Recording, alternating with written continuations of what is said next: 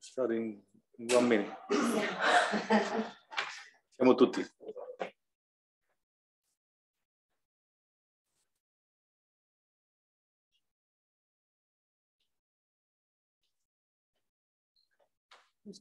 Can you close the, the door, please?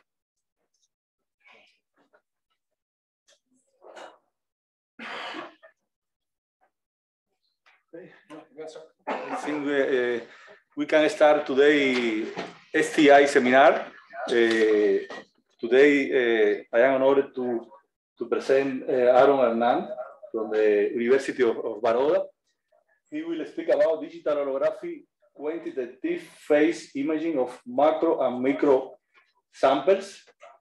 Mainly, this is the work that we are doing in, in the lab with uh, our step student, uh, Subat Utadilla.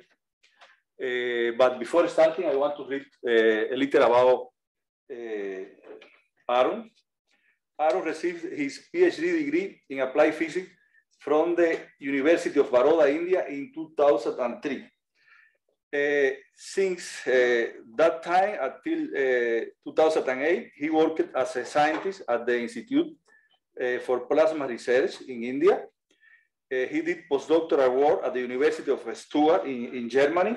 Uh, he also joined the Applied Physics Department at the Ma Maharaja University of Baroda in 2008. Presently, uh, he's working as a professor in the Department of Physics uh, at the Patel University. Uh, he has more 120 publications, including peer-reviewed uh, journals, conference proceedings, invited conference, papers, and some patents. Also guided five uh, uh, PhD students, four of them are almost finishing, uh, and complete a sponsored research project in the areas of holographic and holographic microscopy.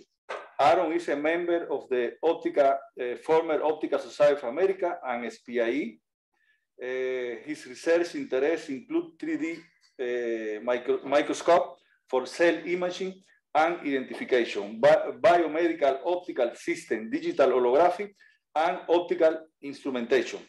And with this, uh, Arun, you can start your presentation. Okay. Thank you. Uh, thank you, Humberto.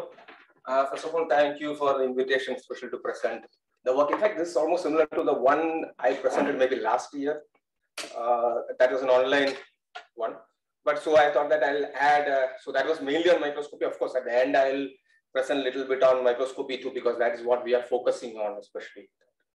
Uh, but I'll start with the basic, it should have been like diffuse and specular objects rather than micro and macro objects. So I'll start with uh, mainly with uh, the diffuse objects because that's what Subhash is also working on in MLab mainly, uh, especially studying heat diffusion through phase samples and that is occluded by a diffuser and then try to image them and quantify them. So I'll present that work first and then I'll at the end I'll talk a little bit about the microscopy part that we do also. So, uh, so these are, so these are the, some of the areas in which we work on. So as I told, I'll be mostly work, talking about uh, digital holography microscopy and interferometry. That's what we are doing this here also. And we also work on low coherence uh, interference imaging, lasers, a little bit on laser speckles, then uh, optical tweezers, uh, uh, basically low cost optical tweezers, and a little bit on fringe projection and optical coherence tomography a little bit on. These are the areas, but I'll talk about the first two mainly. And if time permits, the, the optical traps with integrated microscopes, I'll just show some of the results. So most of the things will be the results. Uh, so I'll be presenting the methods we developed as well as the results we obtained and the applications we did with all these things. So basically, your solution to your wave equation, that's your complex amplitude uh, basically has got a scalar component, polarization, and a phase. Of course, we can talk about coherence and all those things. I'm not going to talk about coherence in this thing. So any spatial map of your polarization or that E0 component to your uh, scalar amplitude or a phase is an image.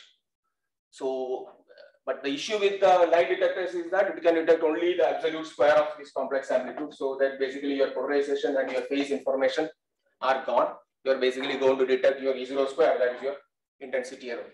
So the phase and the polarization needs to be indirectly measured, not directly measured. Uh, but the thing about phase, I'll not talk about polarization. Of course, polarization can also is sensitive in many cases, but I'll talk about phase only. So if you look at phase, so it basically depends upon the optical path or the optical distance uh, light beam travels. So that is your refractive index into the thickness. So that is your phase. And if you look at phase, you have your wavelength in the denominator. And let's say that your phase for a computer, your phase varies from 0 to 2 pi. So for a 0 to 2 pi variation, basically for from 0 to 2 pi, your n into z should vary from 0 to lambda 1. So a thickness, a thickness change of lambda basically gives you the whole range of intensity values if you're converting your phase into intensity.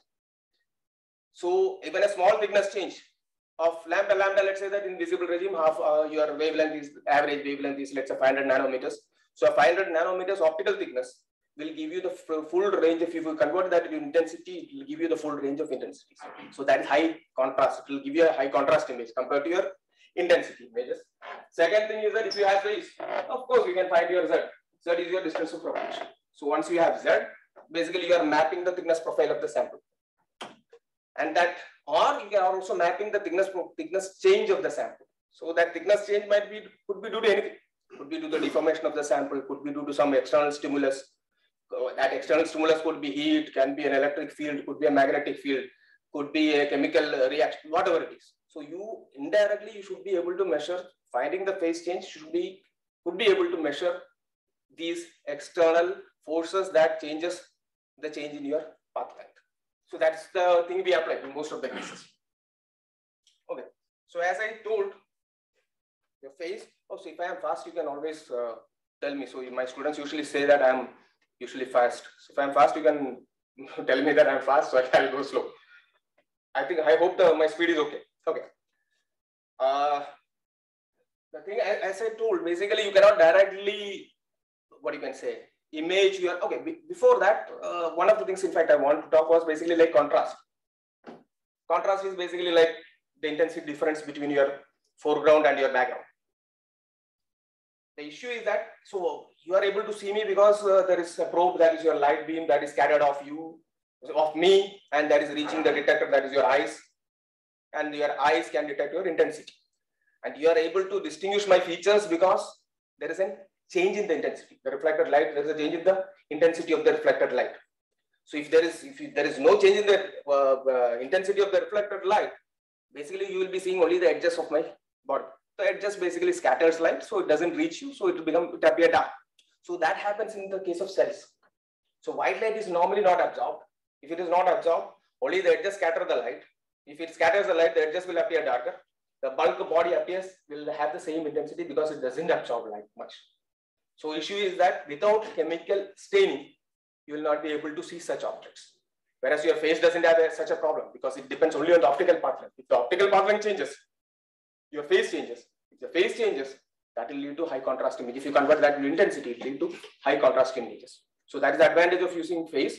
It gives you the optical thickness profile, plus it can also give you the, uh, it can give you high contrast images. But the issue is phase is that it cannot directly be recorded. So what you do is that you superpose two beams, light beams. So, okay, of course, these two light beams are derived from the same source to preserve the coherence condition. So usually we use laser sources because it is highly temporally coherent. So we use laser sources. You superpose one of the beams you call as your uh, reference wavefront. Reference wavefront is a plane wavefront. You know the phase, assume that you know the phase of that wavefront. The object wavefront is the wavefront that interacts with the object that is either reflected or it is going through the object and then it reaches here. But let's say your detector plane here. So that will lead to a interference pattern, something like this.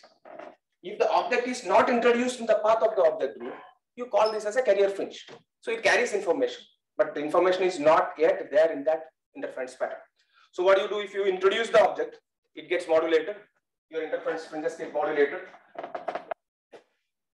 So what you can do is that you can do a demodulation. Demodulation basically means you remove the carrier frequency and get the information regarding the object alone. So that is basically done. For our, in our case, we record these interference patterns or holograms on a digital array. So you get a digital copy of the interference pattern. You do a, mostly in our cases, you do a Fourier transform, whether it is from Kirchhoff integral or a angular spectral propagation integral, you use a Fourier transform. Uh, what you can say, you pull out the, uh, the, what you can say, the carrier frequency and bring out the information due to the sample alone. So I'll come to that a little bit later. So your so this is your interference equation. When you superpose, this is your interference equation. That's basically three terms. These two terms are together. So this is your, let's say you are incoherent, even if your source is incoherent. So this is like your incoherent addition. Plus you have your, you talk about your in terms of your spatial frequencies, you have your sidebands. So sidebands basically contains your phase difference. The phase difference has got a phi O that is we call it as object phase and the reference phase phi R. So the object, since you know about your reference, you theoretically speaking, you should be able to extract your phi O. And if you extract your phi O, plug in that equation for phase, you're basically going to get your optical path change. If you know the refractive index, you are exactly going to get the thickness profile of the sample. That's the basic idea. Okay, so this is so holography is a method. In fact, so this is this is basically interference microscopy. Of course, what you can do is that you can put a lens and make a uh, what you can say magnified image at the sensor, superpose, get the interference pattern. So you can say it's a interference microscope. Holography is nothing but an interferometric technique. What you record is basically you have, uh, uh, I'll just come to that, uh, how does it is done, how it is done. So it is a, so Nobel Prize 1971. So that is uh, invented in 1948. Uh, basically, holography means you record the whole field. Whole field in this case basically means the scalar amplitude as well as the phase. That is your holography. So the basic idea is something like this. So if you have, so if you, if you think about a diffraction grating, so diffraction grating is basically nothing but, of course, it can be a phase grating or an amplitude. Let's talk about amplitude grating. If it's a diffraction grating, so it follows your diffraction equation, that is your E plus D sine theta squared and lambda. I hope it, it's fine. basically, if you have two plane waves, you have two plane waves basically superposing at an angle. So you have your interference pattern. So this this is your E plus D. I call it as your E plus D. That is basically that depends upon this angle of incidence of between the two beams. So that is becomes sin theta. So I am going to get only the first order that's equal to lambda. Lambda is the wavelength. Now, if your angle is fixed between the two plane wavefronts, so that, that means theta is fixed. So your angle is fixed, then your theta, theta is fixed. So it will lead to a particular E plus D. So you remove one of the beams. Let's say that you are removing this beam uh, and illuminating the grating with this beam. If there is only one direction in which can reflect the back is this direction because it has to preserve this equation. Of course, you can have a this thing in this direction. So let's not talk about it now. So that so basically your uh, grating preserves the angle information or the interference pattern preserves the angle information. Now, instead of this thing, if you have a point source, I'm not going to draw that thing. If you have a point source, so one of the beams is from a point source. So that is a spherical wavefront. So what you have is a diffraction grating with variable E plus D. So here the E plus D is less and here E plus D is or the grating element. E plus D is called the grating element. Grating element is lower here and grating element is higher here. So when you have a smaller grating element, you have a, if you look at the equation, you have a higher angle of diffraction. When you have a lower, uh, larger grating element, you will have a lower angle of diffraction. So basically what happens is that the beam from this point and this point converge at the point object. So basically now if you record a hologram or interference pattern, that is nothing but your hologram and re-illuminate it, remove the point source, re-illuminate with your reference wave, that is a plane wave, let's say. So you will see a point source in space. So now it has got the angular information plus the depth information. This is D.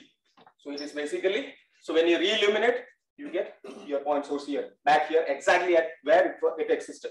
So this you call as your virtual image. And of course, there you can scatter in the forward direction also. So that will also give you a real image. So you will have two images when you look at a hologram. One you call as a virtual image and other you call as a real image. But when you are looking through the hologram, if you have a point source, basically you have a lens here, right? So one of the images is formed here, one of the images is formed here. So if I am focusing on this image, this will become distorted.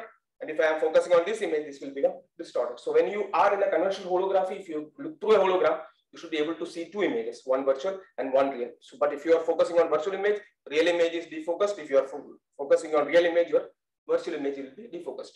Why I'm talking about point sources is that any object as such, whether it's your face, whether it is, whether it is the chair, it is nothing but a collection of point sources. So each point on your object leads to one interference pattern. So think of them as independent interference patterns that is recorded. So each interference pattern will lead to a single point image. The collection of them is your object. So that is how your holography works. Simply, if you look at the grating picture of a grating. Of course, mathematically, let's talk about it. So this is why I have shown two point sources. You can extend it to n number of point sources. It will work exactly the same way. Okay, so this is your mathematical representation of your holography. You have your object and reference. So I've already, so this is nothing but your, ultimately you'll have, you'll look at this equation, you have your, this you call as your background term plus your real image due to your real image and virtual image. And numerically the reconstruction basically means multiplying this hologram by the reference wave itself. Again, you multiply with the reference wave.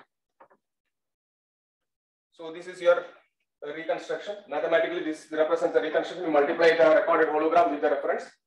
So of course, you should remember that your reference is not something like this.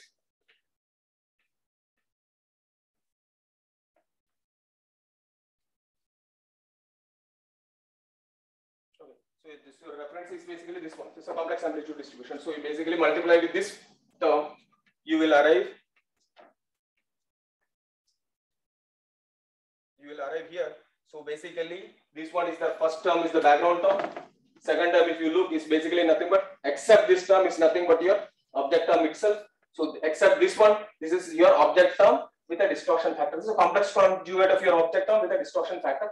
So basically, you are reconstructing your object term, and R square is nothing but a this is, a, this is nothing but a real number. So that is an amplified intensity amplified here, amplified virtual image. So that is this term. So illuminated, you have your undiffracted reference beam. That is your this term, and this one is this term, and this one is this one.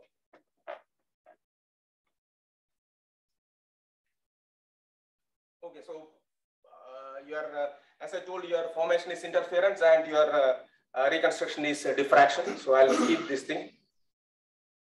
Okay, so there are few numerical methods by which your holograms can be reconstructed. In fact, all depends upon your scalar diffraction theory. So there are mainly two approaches. One either it's your Fresnel-Kirchhoff approach, and the other one is your angular spectrum approach. The main difference between them is that in Fresnel-Kirchhoff uh, approach, you uh, uh, basically assume a paraxial propagation. In angular spectrum approach, you don't assume a paraxial propagation. In Fresnel-Kirchhoff integral, you are basically propagating space itself, whereas in angular spectrum approach, you are propagating your frequency spectrum to wherever you want, and then taking an inverse Fourier transform to convert that back into space. So Fresnel-Kirchhoff, uh, what you can say, approach is mainly used for larger objects. So basically, and your distance of propagation is very large compared to your size of the hologram. And for us, for example, we are recording on a on a digital array. The digital array is of the dimension of few millimeters to maybe like a centimeter or so. And the distance of propagation is involved is like maybe like few tens of centimeters. So that is much larger compared to the size of the hologram. So basically you can apply, apply your paraxial approximation that is also called as your Fresnel approximation. And in, you can reduce your uh, whole uh, diffraction integral into ultimately the whole numerical reconstruction into nothing but a Fresnel, this your transform. So it's nothing but a Fourier transform of your uh, hologram multiplied with the reference and a spherical factor. So that is your reconstruction. Now, if you look at this equation, there is a D here. Forget about rest of the things. So this is there is a D here. So if you look at this image, so this D is nothing but the distance of propagation. So once you record the hologram, and then you, in, when you numerically reconstruct it, if you change D, you're basically going to focus on to different planes. So that is called as your numerical focus. So once you record a hologram, after recording, you can focus on to different layers. So basically, if you have a volume image from a volume, you can focus on the different layers of the volume. But only issue is that it also depends upon your coherence of your laser source. So let's not get into that. Okay, so once you have the uh, once you have the complex amplitude, reconstruct complex amplitude, so you can have the intensity. Intensity is nothing but absolute square of that complex amplitude. Phase is nothing but your uh, tan inverse of your uh, imaginary part by real part. So you'll get both your complex amplitude can, can be converted to intensity or, or as well as phase. So numerically, you are basically extracting both intensity as well as phase.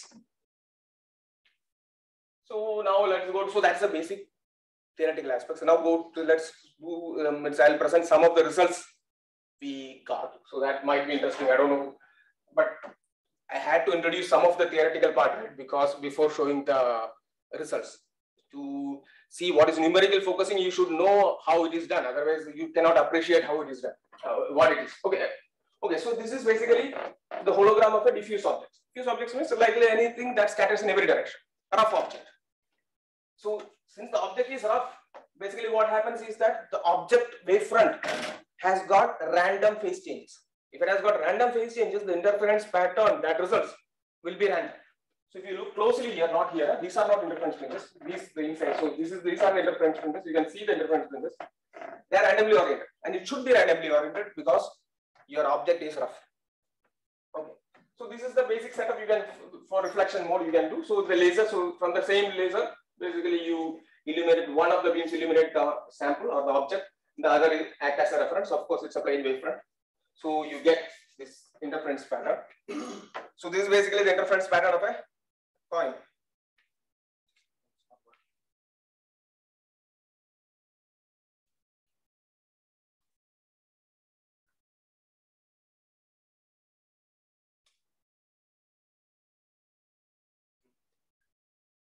In fact, I want to show the uh, numerical focusing part. And I don't know, the video is not working anymore.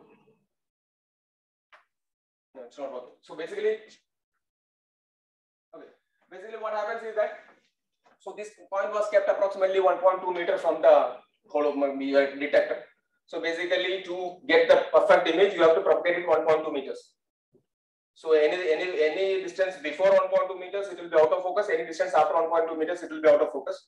So basically, when you propagate it at 1.8 meters, in fact, so that's what I want to show. At 1.8 meters, you will have the perfect focused image of the coin, but it's not working anymore. Sorry, sorry about that. Okay, uh, there are some issues with. I think this issue with the um, version of the PowerPoint. Anyway, doesn't matter. Okay, so now, uh, so that that is basically the numerical focusing. That won't give you anything as such. But the thing is that how can how can you apply uh, holography? Basically, let's say for deformation measurement.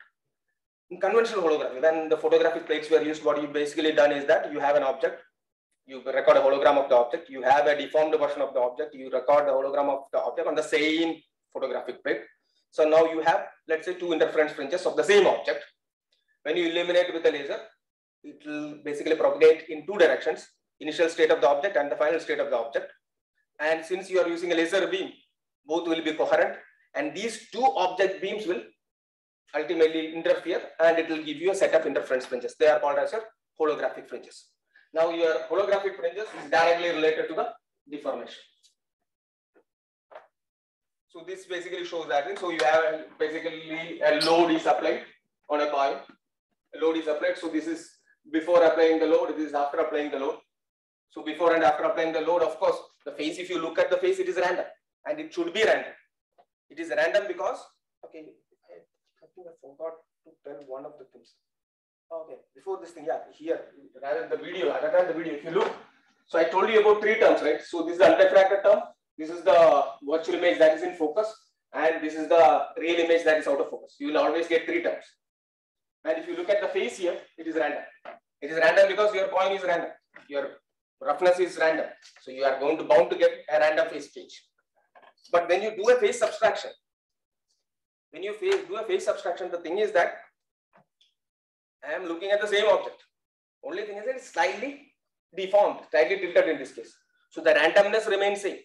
So when you subtract the phase from first first uh, state from the second state, basically the randomness goes off it will bring out only the phase due to the deformation error. So that's it. Then what you get, so this is called also called as your wrapped phase because it's always between 0 and 2 pi. Your computer can recognize only between 0 and 2 pi. So your phase is between 0 and 2 pi. What do you do? Apply an unwrapping algorithm. There are n number of different unwrapping algorithms. Unwrapping algorithm and convert it to a continuous phase. So this is the continuous phase. And so this is the deformation that is along the x and y directions. You can see it's almost like we are measuring like to nanometer level deformation. So if you if you uh, keep the background as the uh, noise, so it gives it gives me around 10 to 15 nanometer as the resolution in the case of rough uh, samples. Okay, so this is the I don't know whether the video will work or not. So not working.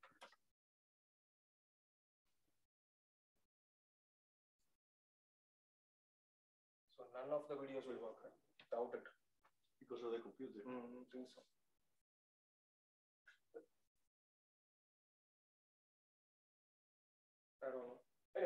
So this I basically want to show the loading of a cantilever.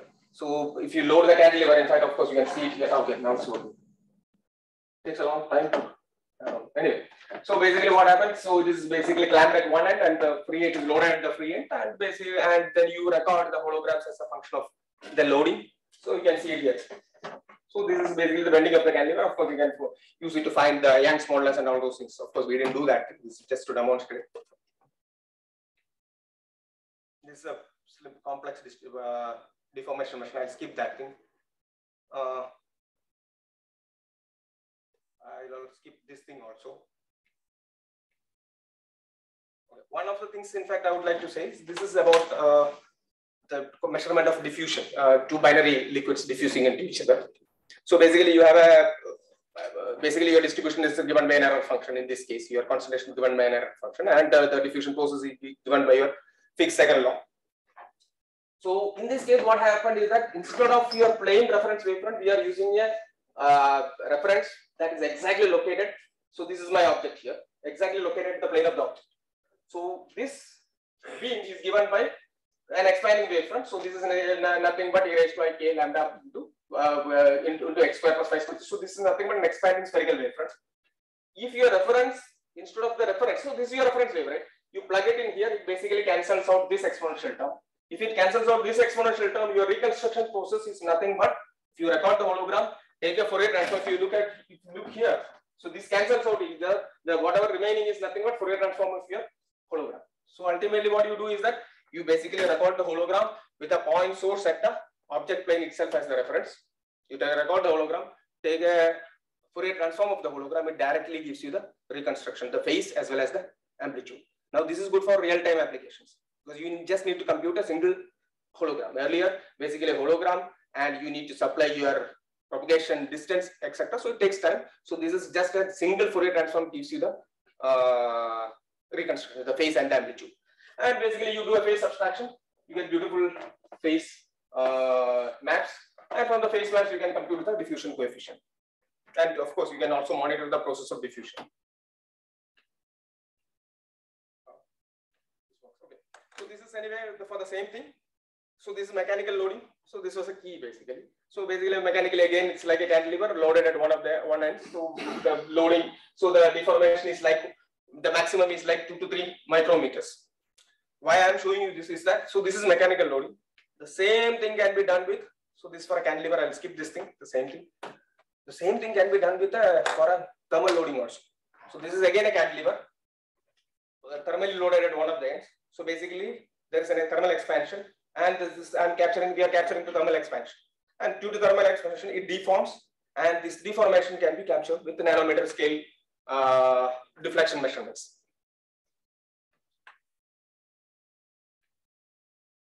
Okay, so this is the same setup. So what I, where we used it is, that's why I want to come there. So this is, of course, for a temperature distribution. So this is an axis symmetrical temperature distribution, a flame. It could be a candle flame, it could be any of burners or anything. Since it is axis symmetrical, of course, you can use an Abel inversion and find the local refractive index values. You just need, you have a phase information. And if you have a phase info, that's nothing but a code integrated value. You do an Abel inversion, you are basically going to get your local refractive index values. So that is there. So the basically, so this is the same thing applied to a glass slab. That was a flame. This is a glass slab. Basically, I want to show is this one. So we had an object. So there is a, we call it as a defect. It's not a defect. Basically, we drilled something into that. So it's like a hole in the object. That's a, a, a plexi So we'll drill a hole into that thing. So that is basically you have a uniform object and there's a non-union or inhomogeneity in between. So you apply a thermal load. Basically, the diffusion, heat diffusion in different parts will be different. And since your phase can capture, and okay, one more thing. So as the heat diffuse, diffuses into, let's say, dielectric medium, you have a time as well as space varying refractive index distribution. So if you have a time and space varying refractive index distribution, your phase of the object being passing through the sample will also change with time, especially as well as with time. So that is what is basically captured here. So the heat is diffusing. So without the defect, it looks something like this, of course, uniform. And with the defect, of course, it becomes visible as thermal loading is increased. Thermal load is increased. And what we can do is that we can, of course, extract uh, the phase information and subtract out the linear or the nonlinear phase itself and bring out the defect itself. And of course, on the defect also, we can do an, assuming it to be symmetric, we can do a Abel inversion and get the local refractive index values. So we did that for, uh, uh, this is for a uh, heating rod in air. So we can find the uh, refractive index changes.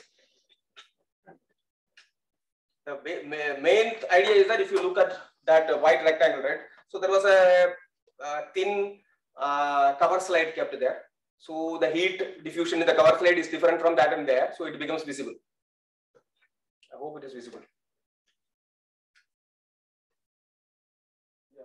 So that that that that that triangular shape is that cover slide.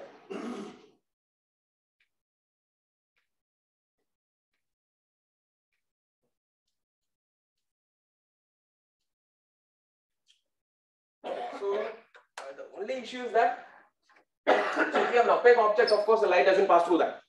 So we were thinking like, can we uh, basically image uh, something that is uh, below, be, uh, behind or below that opaque object. So what we did is we used a steel ruler and then we had a small cellophane tape stuck on the other side. And we were imaging the portion that is just above the uh, opaque object and uh, we basically heated it from uh, below. So basically the air around, of course, you need to, uh, ideally we found that you have to confine and all those things, but we got some results. So basically you are uh, imaging the uh, air surrounding the opaque uh, object above in fact. So basically due to the difference in the heat diffusion through the sample, so that becomes visible if you look at the phase maps. So one on the left is without any cellophane tape. On the right, the phase map is basically with the cellophane tape. And of course, I can subtract the first one from the second one and get uh, approximate position of that defect here, somewhere here. So that is with an opaque object. It's not a translucent one. Okay, so this is one of the work in fact Subhash is doing here. Now we what we did is basically like so if you have a as I told if you have a phase object and you are thermally loading it, so it is basically going to result in a spatio-temporally evolving phase distribution. So from the phase, we can extract multiple features. And from with those features, we can train a machine learning algorithm. And from that model, we can identify the thickness of the sample. So that is the basic thing. So these are basically for five different thicknesses. So from, uh, this is again acrylic. So from 2.5 to 12.5. So then we heated it. So the protocol remained the same for heating the, all the samples. And these are the spatio-temporally evolving phase distribution. And from this thing, we extracted multiple features like maximum, the standard deviation rate of change, and the fitting parameters. And we I fitted it with a quadratic uh, or second degree polynomial. So I uh, and extracted all those parameters and uh, trained a linear regression uh, machine learning model. And uh, we found that the, the error is approximately 200 microns. So we were using two, uh, 2.5 thick, uh, millimeter thickness. So we are getting around uh, 200 micron error in the measurement. And we also tested with the second set. So that gave us around approximately like uh, 0.5 millimeter error in that. So we are still working on that thing. Hope before leaving it should be done. So this is the result. In fact, I put just before coming here. In fact, uh, So instead of uh, heating with a, what you can say, heating rod and heating platform, you could also use a laser beam to uh, heat the sample. So you had, uh, so the setup is something like this. I didn't get time to make a good uh, figure here. So this is my excitation beam. So the excitation beam is hitting the sample. So there is an absorption here. So there is a, uh, what you can say, I'll not say uh, thermal lensing. It's like more like, what's that other term? Thermal stress. No, no, no. Yeah, photothermal uh, effect so basically what happens, there's a change in the, it absorbs uh, light, basically it heats up, it heats up, the refractive index changes. If the refractive index changes, so you can see.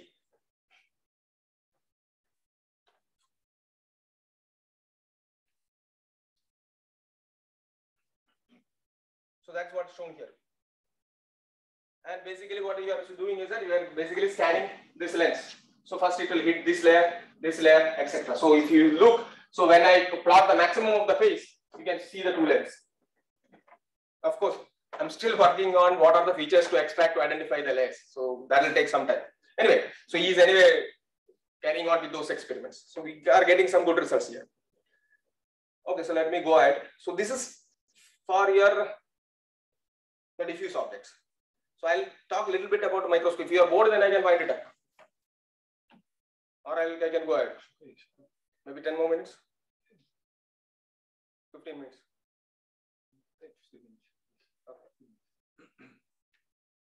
Okay, so uh, so in fact, this is this is one of the areas in which we, we, work very what you can say we do, do a lot of work on.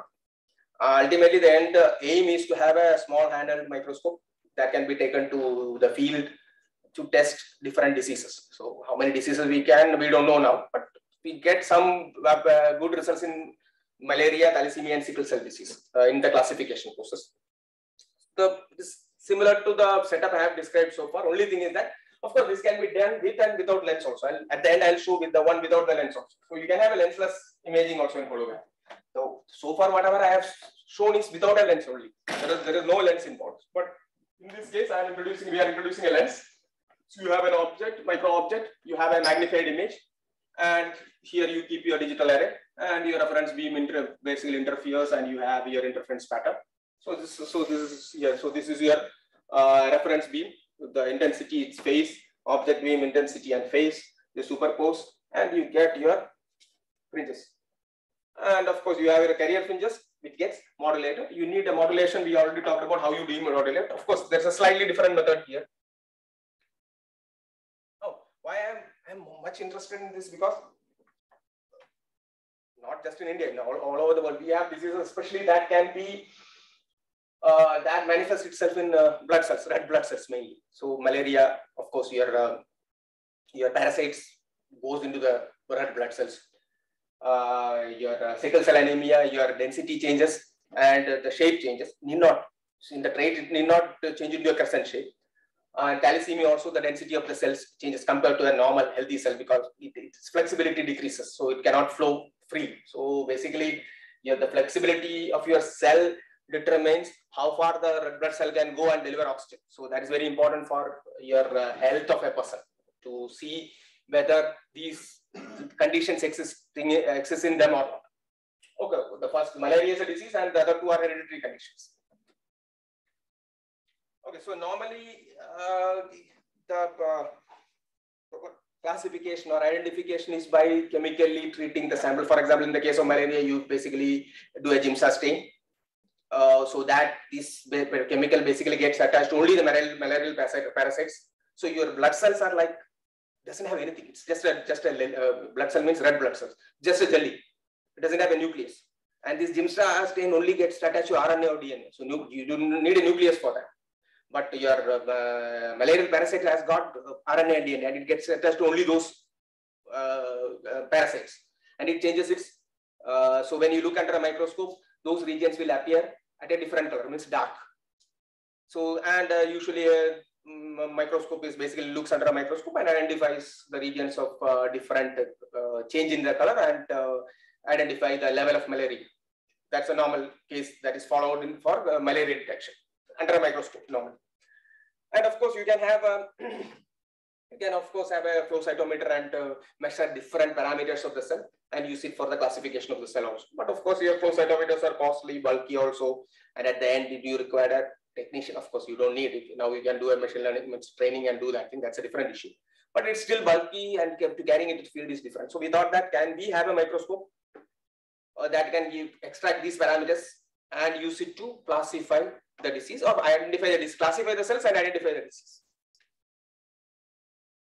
So your normal uh, holographic microscopes are looks what you uh, you well, Mach Zehnder geometry. Mach Zehnder geometry basically, of course, it's an interference uh, microscope, right? So basically, you should have two beams. One is your reference beam. Uh, one is your reference beam that is not modulated, or the other one goes through the object. They interfere. I don't know whether you can see the interference fringes here. Also, So these are the this is a blood cell over which you you have your interference fringes. The interference fringes get modulated because there is a change in thickness and uh, of course, what we do is that we do a 3D printing of the structure and put in the um, optical elements and it becomes like a portable microscope. Of course, this is not portable. I'll come to the portable at the end. So still it is but so but this this one this configuration gives you the best images as such because your reference beam is entirely going along a different direction and doesn't have any object information. But issue is that it is still bulky. You need multiple optical elements and uh, uh, you basically we are coupling a laser from outside, so it, it is pretty difficult to carry out. Of course, it's costly, multiple optical elements means. Uh, so this we already discussed. Only difference here is that from the diffuse object is that we are using angular spectrum instead of uh, Fresnel-Kirchhoff integral. So in the angular spectrum, if you look, if you, if your image is at the, so your hologram is at the image plane of the lens, your distance of propagation becomes zero. So your whole reconstruction, numerical processing becomes nothing but the Fourier analysis of the interference fringes. Fourier analysis basically means interference, take a Fourier transform, put a filter, uh, get it to the center to uh, negate the carrier frequency, do an inverse Fourier transform, that's it, mathematical. Okay, so again, you can do numerical focusing, etc. So that's the video. So what we do is that we record two holograms, one with the blood cells in the field of view, one without. So the, uh, the optics remain same between the exposures and you do a phase subtraction. So whatever is the uh, phase due to maybe a defocusing, maybe aberrations, most of them get cancelled out and it will bring only the sample phase information. And from the sample phase information, once you know the refractive index, you can convert that into thickness information. So this is basically a 3D profile. Oh, I'll not say 3D profile. 3D profile requires a tomography. So it's a thickness profile of a red blood cell. So once you have the thickness profile, you can have a large number of cell features that could be extracted. So basically, I bring it into three categories. One is from a single hologram that's I call as the physical parameters. You can call it any other name also. The second one I call as the mechanical parameters because it is from a time series of holograms.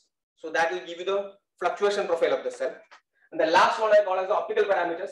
It is not from a time series. It is by illuminating the cell at different angles. So that is from the tomography of the cell. Okay, so initially we worked on embryonic stem cells. I'll skip all these things.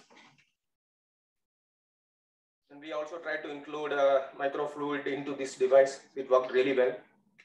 I'll skip that thing. Okay, I'll come to this one because this is the basically the compact device I was talking about. the only issue with your Mach Zehnder device is that you have two beams separately, which becomes bulky. So what we can do is that instead of using a two beam splitters and all those beam steering components, we can just use a uh, glass plate. So glass plate, you have reflection from the front and the back surface. So you have two beams directly from a single glass plate. So these two interfere. And if, if the thickness of the glass plate is large enough, so you have, otherwise what you are getting is what we call as a shearing interference pattern. You will have an object over itself, image. But if you increase the thickness, these two separate out and then it will lead to holograms.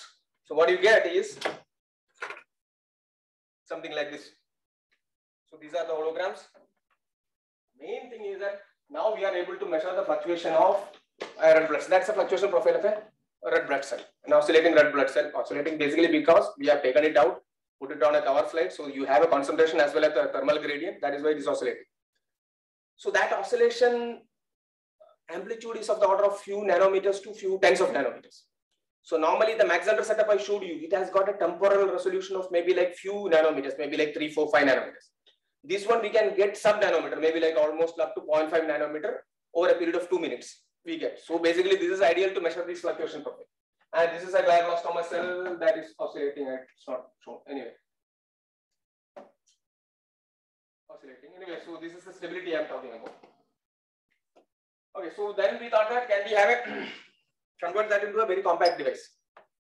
So uh, so this is the device. It's it's a handheld device, almost a, maybe like a seven centimeters. I Actually written here, nine by seven by three. So instead of a normal objective lens, we are using uh, lenses that is from uh, optical pickup units. The advantage of you using OPU is that it is already on a, a, voice coil. So by applying a current, you can move the lens. So you can get multiple field of use. Plus, you can also apply a current and focus also. So you don't need a separate focusing mechanism. So your uh, uh, your device becomes very compact, and it looks something like this. So it looks something like this. So you have your laser. So this is a 50 cent diode laser. And uh, you have a shearing plate and you have an optical pickup unit here. So the lens is on this optical pickup unit and then you have cell your uh, uh, power sources for your, uh, your laser as well as your optical pickup unit. Of course, you can convert a normal clinical microscope also into a 3D one. So just uh, we add a module that can be directly you just remove the top portion and insert that thing that will be converted to this is what i was talking to you about. Convert that into a you don't have to do anything just put it plug it in so it will work as a 3d microscope. Okay now the classification part. So as i told we get multiple sample features now we have to use these sample features so just extracting the sample features is is not enough so this is in the case of a uh, in the case of healthy as well as and sickle cell positive cells. So we had uh, we had collected blood from sickle cell positive tested already tested positive patients as well as healthy patients. And these are the distributions. Let's not look at the distributions. Of course, they look different. That means, and we did some statistical analysis and found that the distributions are from two different classes. So, of course, that can be used for classification. That's a basic idea. And we trained basically some machine learning algorithms and we were able to get almost, this is for sickle cell disease, we were able to get uh, almost like 98% accuracy so far. Of course, let me tell you, this is with only six or seven samples assets because getting the samples is also difficult. Even in India, getting the samples is difficult. So we are still collecting the samples and uh, recording the holograms and trying to improve the results. And again, with malaria, the same thing. We got around 96% uh, accuracy with malaria. And then one of our students, in fact, he designed a, a small app in for a browser-based app. So basically, this can be connected to your uh, this this microscope I uh, showed you. So and these holograms can be uploaded, and the whole process takes place in an offsite piece, and the result is sent back to the user. Okay, this is the tomography, but I'll not go much into this thing. So it's the same setup can be used to uh, have a tomography of the slicing of the cells also. Okay, this is something we are working now, basically on integrating an optical trap with a holographic uh, microscope. So that optical trap is again you uh, basically using an op uh, optical pickup unit from a lens. Need not be from optical pickup unit asset, but we used an optical pickup unit, the lens and the same laser, so it can trap a blood cell easily. Uh, then we integrated a holographic uh, microscope into that one. So it's a compact device and it can give multiple features. This video is not working, I don't know.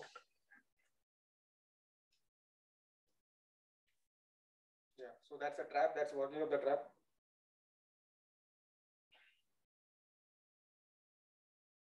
So let's go ahead. So we did some, again, some classifications, including the uh, Brownian motion of the sample, plus the uh, phase images of the sample. So this is the optical trap, the work of the phase images of the optical uh, phase reconstruction from the optical trap. That's a blood cell. The one on the bottom is a blood cell, and uh, on top is like a six micron microsphere, six micrometer diameter microsphere. and then, then we combined, we are getting like 90% accuracy. This is nothing, 90% accuracy. I need at least 99 to be uh, sure about that. But this is what we are getting present as such. Okay, so uh, we applied it. Of course, it's not only for the biological samples we are applying it to. So we can use it for, let's say, for example, semiconductor inspection of semiconductor wafers, the high profile of the semiconductor wafers, etc. So this is one of the devices. In fact, we designed and uh, the company in Korea has basically is manufacturing this thing. Okay, then I told about the lensless thing, na? so I'll wind it up after this one. So lensless thing, it's not necessary that you should have a lens in holography because you have the, uh, what you can see, you have numerical focusing. So basic thing is that, so you have two beams here. So there is a sample here, there is no lens. So you have holograms on the sensor. Now what you do is that, so once you have the holograms, what you can do is that you can numerically focus back onto the best focus plane. Of course, you can use autofocusing algorithms also. We use autofocusing algorithms and then extract the phase and get the 3D profile. So the advantage here is that your field of view, your field of view is decided by your lens in the case of a lens. For example, if you are using a lens of 40x magnification, your field of view is approximately 250 by 250 microns. But here, if you look, you are getting field of view up to almost 5 millimeter by 5 millimeter. So you have larger field of view. Only issue is that your uh, your your size of the object that you can image is limited by the size of the pixel. Of course, you can do a sub-pixel scanning in that case to convert your pixels into small sizes. That you can do. But this is one of the things, in fact, we would like to do, in fact, later on. But other issue is that in your uh, lensless imaging, you need to propagate. So propagation means loss in resolution. You are usually losing as for, when you propagate, you are losing higher spatial frequency. So there, there is a loss in resolution. So only issue with lensless case is a loss in resolution. Of course, people have done with the object very close to the sensor. So you are getting approximately numerical apertures of approximately 0.6. So we are getting numerical aperture approximately 0.2, 0.3, not more than that. So that means resolution is around 0.2, 2 microns. Otherwise you get, yeah, I'm done. So done. So this is one of the things we are pursuing uh, to convert that into a compact device. Okay, so what I'll do is that I'll wind it up here. So these are the things we would like to do especially in the thermal lensing. So we would like to apply, so not that's what he's doing now. Whether we can use a laser for photothermal excitation and whether we can slice it or not, just by single beam, whether you can do it. Then uh, we would like to do it for uh, biosamples. Basic idea was to use this thermal loading for biosamples, such as, for example, skin. Can we just apply maybe two or three Kelvin change and find what is below or not? That's one of the things. And for DHM, uh, we basically are now trying to put some external stimulus, maybe an electric field, maybe even a, in fact, I want to show that result, I couldn't find it. Uh, for example, thermal lensing. So we basically shine a focused laser beam, the cell, the, the blood cell expands. In fact, we have seen that. So whether we can use it for accurate, uh, accurate classification of the cells. And of course, at the end is like a low cost field deployable DHM. So that we already have, but we now basically have to train it for multiple diseases. So that requires uh, a lot of work to collect uh, samples, record holograms, and as well as to uh, basically train the algorithm to classify the cells. So that's the end Okay, so of course, this is not the work of a single group. There are a lot of other groups also involved. So of course, without acknowledging them, it is I should not wind anything up. So these are the my collaborators, and of course now, thanks in fact for inviting me, Maria, Professor Nimela for inviting me. So we could uh, really good do some uh, good work, and I hope to continue that. And, and thank you for this, uh, what you can say, the warm welcome and all the support you gave me during the visit. And with that, of course, I'll wind it up and I can have questions.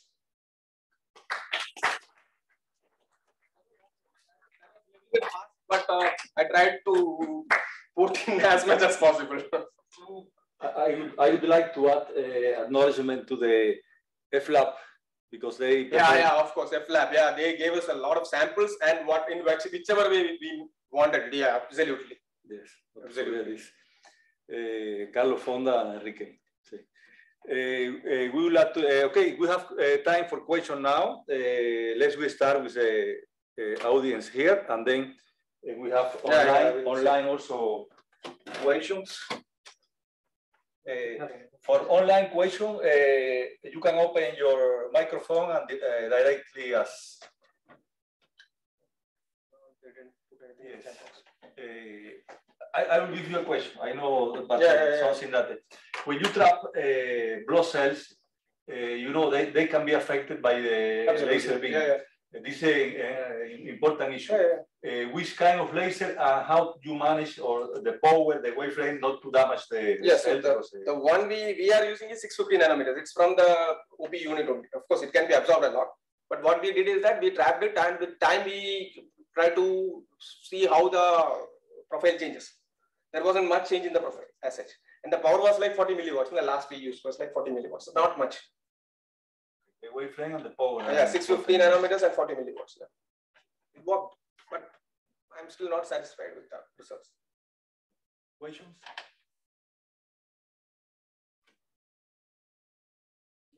this topic. Thank you very much. Very instructive. Uh, the object needs to be a, a or can be liquid. It can be liquid, yeah. Yeah, because I was thinking, can you apply this technology for contamination? Um, I mean, to find a clean liquid. Yeah yeah yeah yeah. yeah yeah yeah. Yeah it can be done so we were thinking something in the similar line like uh, for example suppose it's equivalent to measuring the concentration ultimately. So your contamination changes something some parameter. So we were thinking like uh, illuminating a liquid with a laser an excitation laser and then a probe laser will record the holograms and there is there are phase changes in fact it's one of the ones i didn't mention because i was thinking like in fact he told me to mention that thing here but i didn't mention so we were able to measure very, very small concentration changes. So that can be used for uh, measurement I of think this has some potentiality. Yeah, yeah, yeah, absolutely. Because it's very up to date. Yeah. It's very fashionable.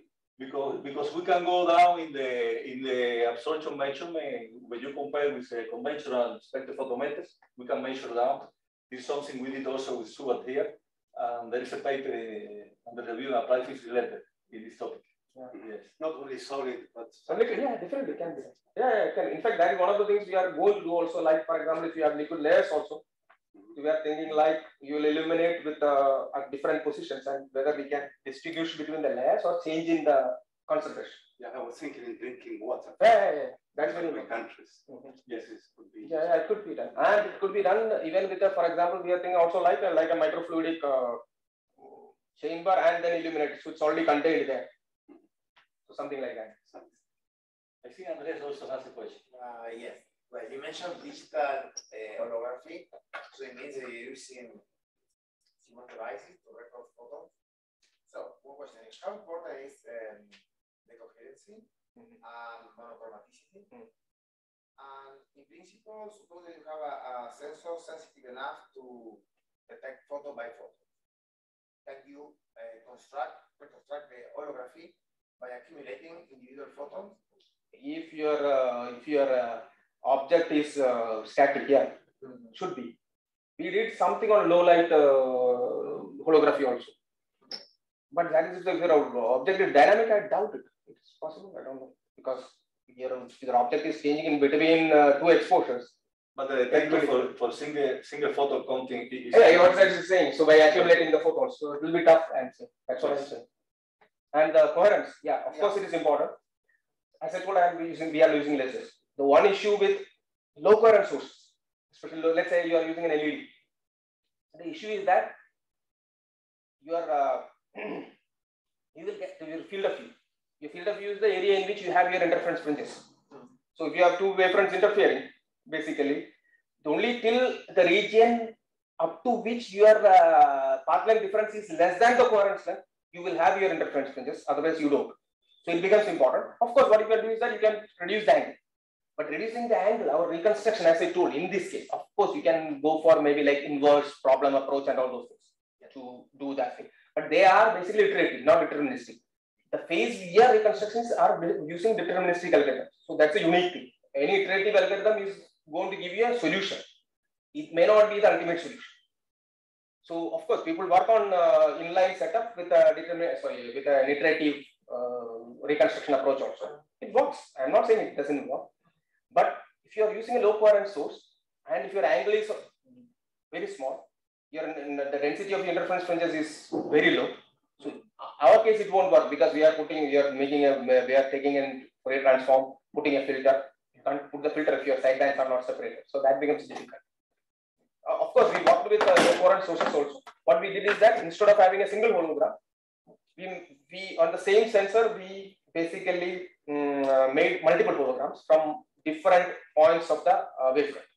So we basically made the wavefront here interfere with itself. So coherence condition is met. So at different points we try to, so we multiplex the holograms and try to increase the field of view. Advantage of using uh, low coherent sources is that the noise is almost one fourth. I'm saying the spatial noise is one fourth of your coherent source. Mm. So there is no spectral noise, there is no parasitic interference. So the noise is very low. Thank you. More questions? Online question. We have a comment here. Masomet, thank you for your interesting speech, but no question. Okay,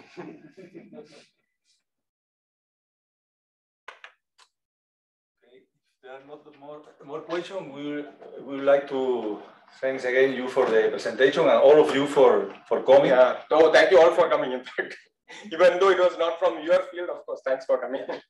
Thank you.